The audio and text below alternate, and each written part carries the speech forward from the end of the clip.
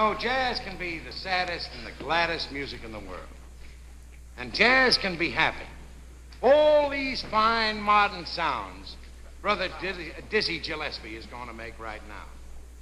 He's a real happy swinger, and believe me when I tell you that Diz is a player.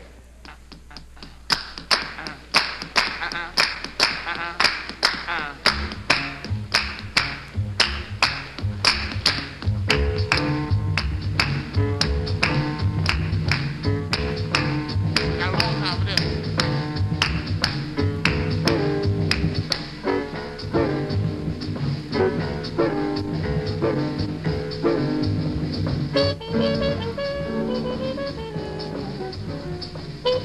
you.